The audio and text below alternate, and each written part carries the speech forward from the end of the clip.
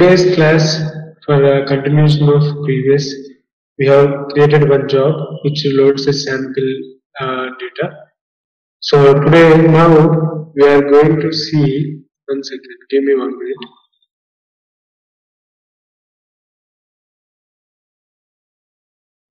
Yeah. So now i'm going to show you the copy operator in DataStage so normally we call stages stages and uh, in that terminology if I want to say I say copy stage. But normally these stages all are operators. Okay? Each operator will perform in different way. We have uh, requirements. According to that requirement we use the stages okay of course copy operator means the name itself tells us copy operator means you are going to copy some set of data from one place to another place or from one source to another source. So assume that I have a data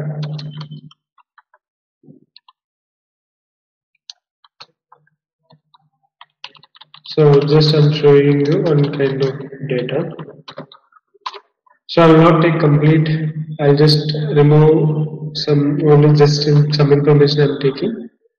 So what I'm doing, I have a source now. So this source, I just want to copy it from one input to multiple outputs. Multiple outputs without any issues. I don't require anything to be happened. Okay. The data as it is how the source is the same way I want to continue to the next level. So this is what my case. So for that reason I'm going to use a copy operator which helps me help helps me in this requirement. So for that I'm going to create a new job new parallel job cancel I instead of clicking of new I clicked the open. So repository got open but I closed it and again I clicked on new button. So now I'm going to the database is Oracle. And I want to use copy operator. And one thing you need to identify this palette processing stages or file stages anything will be categorized in an alphabetic order. So copy means here it is copy and make it into a data set and I want to make it into a file in another databases in another path. I want to copy it into multiple ways, right? So that is the reason we are using it. So now I have a copy stage to become my canvas somewhat a good view. I'm just closing this view and repository okay. So in the last class we have seen a loading directly from one database to a file. And now we are seeing just going through to multiple files. See here you need to understand one thing. In the copy operator I have one stage tab. Under stage tab I have general tab properties tab advanced tab and in the copy itself I have only stage tab and general tab properties tab advanced tab. And in the stage tab again I have a stage CPG so what I mean to say is in every stage once you bring onto your canvas and double click you see the stage tab. Okay? So once you are going to provide a link see here I don't have a link operator to provide directly. If I want to get that there are two ways. I want to go with palette option. The first way the palette option general tab link. See once you click on link you get one round symbol on your mouse. Just left click your mouse button hold your left uh, click mouse button and drag it and place it onto your copy now you go and see in the stage page, you see before only the stage page. but now you see output page. Under output page you have general tab properties tab columns tab advanced tab again. Close it. And now go to your copy operator you see input page is input page. So once you drag an input link see one way I have shown you dragging a link operator from a palette in another way you don't need to go to palette just right click your mouse button and hold it. Drag your mouse button you get a link operator. So there is no requirement to go to palette every time for a link operator. You can provide how many links you want you can provide those. And I just want to give some naming to these all stages and links so it will be somewhat best. So in real time mostly Vora databases are named as Vora. So Vora source I'll give. I'll give a Vora source. And the link name is this is the input link for copy. So I'll provide. This is Vora output. Output means this Vora output data is going to copy it into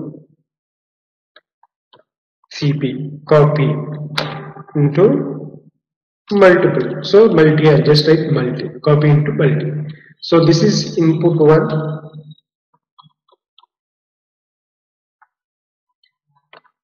assume that. And this is input 2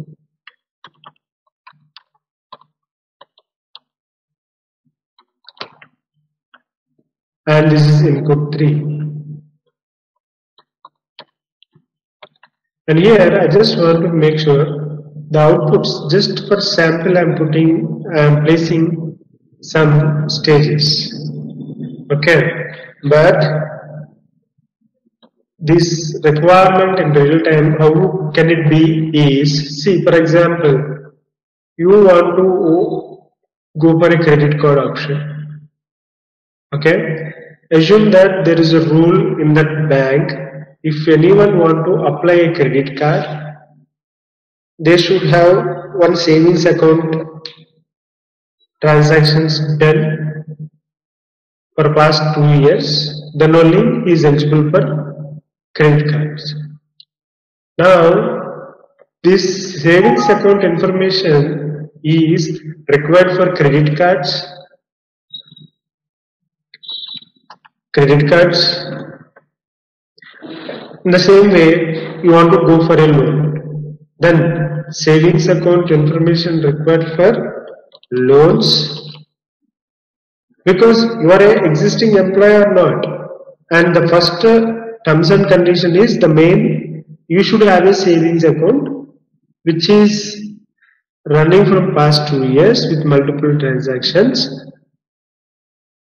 okay so this is the first requirement then your savings account information is required to these all departments. So we are copying the savings account data into multiple multiple files. I'm sorry for the disturbance. It's a bit door open. Don't bother. It's okay. Okay. And now it's loans information. As well to another particular information I required uh, assume that I'll just make it as insurance. So your one requirement is copied into multiple departments. This is what. Don't bother of your source and targets. Just understand what is the requirement of copy. Mainly you need to focus here on copy operator. How does it help? Okay. Okay. Assume that the requirement data is EMP table. Just casual requirement EMP table and you have that EMP table need to be copied into these three outputs so how to do that? We are going to see in this session. This is the requirement that I want to fulfill in this session. So for that, first I need to import with giving some credentials. I want to import the table of EMP with giving some credentials. So I'm going to columns tab, importing table definition of EMP. Once you import, obviously you get this information. And before do that, I just want to show you one quick point.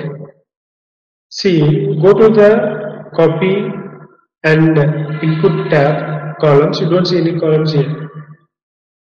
Once you import your columns information in your source,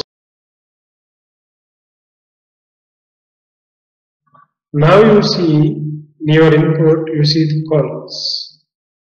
And in output, do you see any columns? I didn't map these input columns to output. How can I say? By looking at this symbol.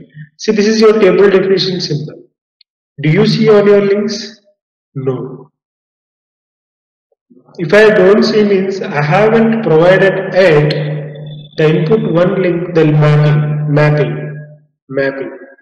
So input 1, input 2, input 3. There are the three outputs, but I see here only one output. How to see for second one? Just click on second, third. Okay.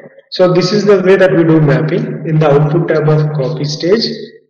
And now this is one of the process I need to do in the columns. I don't have any information. Properties I didn't fill with any information. But you see symbol here, it is showing some square or this is some other symbol. Like these are the two stages, two operators are same. That is the reason it is showing the symbol of same. What does this symbol stands? First of all, how does these symbols come onto your lines? See here, this is your link markers. Just unselect that, you don't see any symbol. It just remove the link marker. Don't think the table definition got uh, removed. No. Only link markers are closed. So by what is the help of link markers means if you select this it shows what kind of stage is this and have you got the table definition into your stage or not. So that's to be confirmed we use link markers. So our input one I'm making some bit and expanding this pan. This is pan. The right left pan to right pan I'm moving the columns. Just mapping is done for only input 1. So I have been stopped like telling what is this symbol. So if you have these link markers, check them um, on. It is good thing to understand your stages and as well the flow of your table definition. Stages wise how it will help. So see here go to the sequential file stage and stage stage see the execution mode what is the execution mode sequential click ok so that is the reason you see this symbol go to data set see the stage step see what is the execution mode parallel so that is the reason you see symbol like parallel so again stage page see here sequential execution mode and copies execution mode is parallel. That is the reason you see the symbol of parallel here. This is symbol of parallel and this is symbol of sequential. What is exactly sequential? What is exactly the parallel? We'll see. We'll, we have to wait for some sessions. Okay, that is a flow of your data in DataStage. How does it maintain, how it is going to be configured, everything we are going to see in the next sessions. So now, back to my flow. I'm just I'm going to output again. Don't bother of other tabs. Input page, partitioning tab, columns tab, stage page, properties tab. I'll, I'll just go through, but don't be worried about those. We'll concentrate on what we are doing now. But later on we will discuss this all things. Just mapping. So mapping also how many ways we can do? This is the next concept. Because if you have 10 outputs from copy you should go ahead and you need to perform 10 times like that it is a bad thing again, right? It's a performance. Means you are going to stage output and doing mappings for every stage like this for every output. This is not a, a good practice. At once I want to make all the outputs with the mapping. So for that I'll just remove this now. I'll just remove the mapping columns. I have just removed the mapping columns.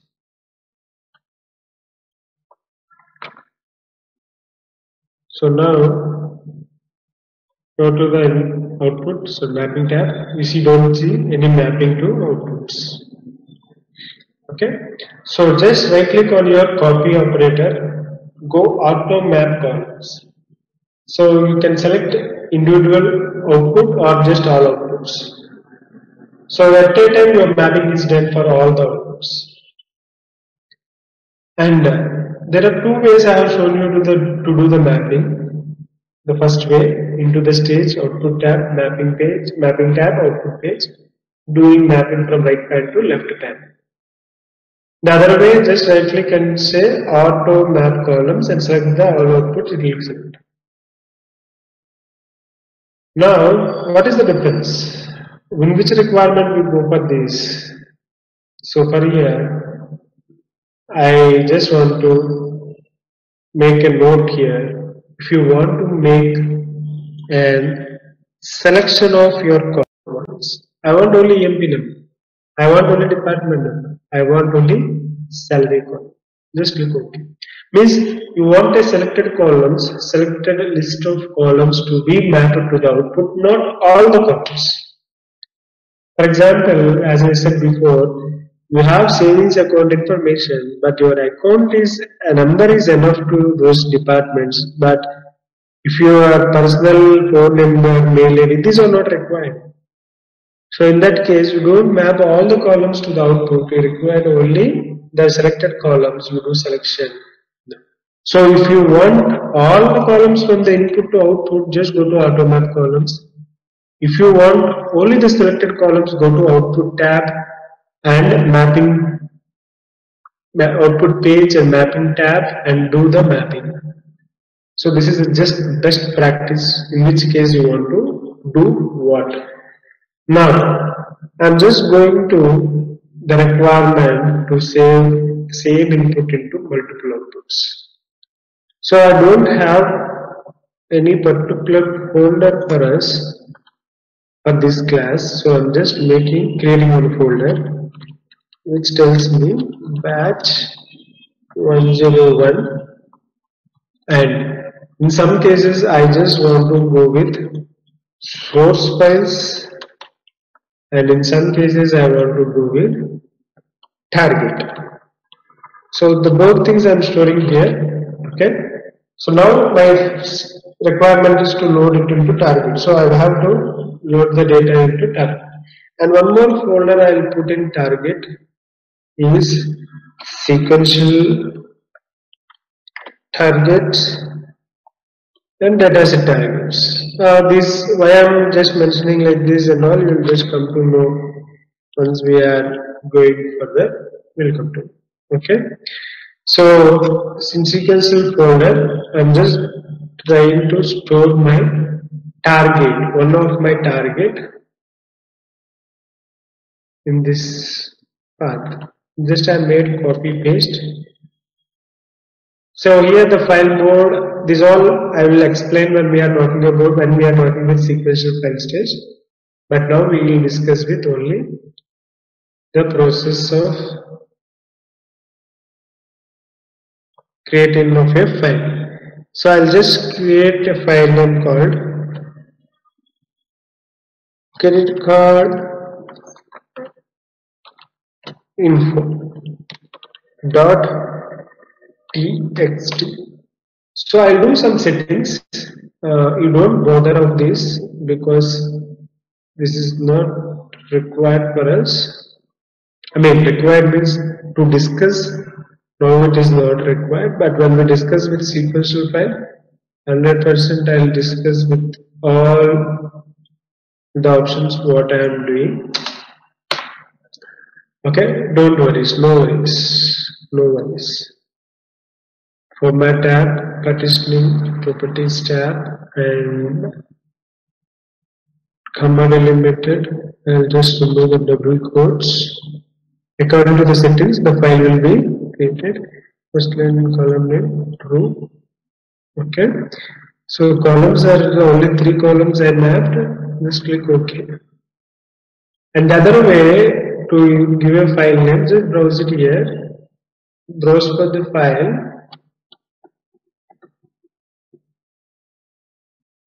Once you browse for the file go to D folder.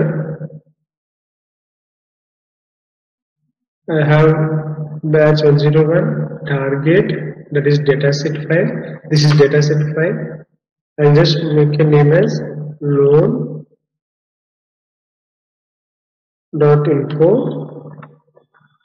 dot ds these dataset files need to be given as dot ds files. And next same way I'll go to the third file but not data set. I'll go to sequential file. And here I'll give ins info. This is just so text file. And I'm just giving this first line is column true and the format tab not comma I'll give pipe and I'll remove these quotes now. And just okay these are the settings that I have been provided now the design is done. I completed with my design. Now I'm going to compile but before to compile it will ask to save. Automatically it will ask to save. So once you go to the jobs folder click on batch 001 I'm just discussing of copy operator. So I'll do copy name of this copy operator.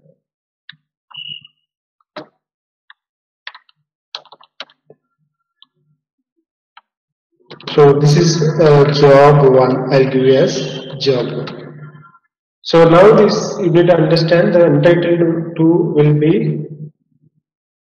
changed within copy operator job 1 save once you click copy operator job 1 is saved. now it is compiling automatically because I directly clicked on, I clicked on compile button. So it has to save and compile. Now compilation is done. Now I am going to run my job so once I click on run the data starts from Oracle connector and loads into the target. So see here, I have created four, 14 records for each output. Okay, now we'll just go to the targets and see what kind of data. Batch, target, sequential target. So this is CC So EMP number, department number, salary. I given only three output columns. So I am getting only three output columns are shown here.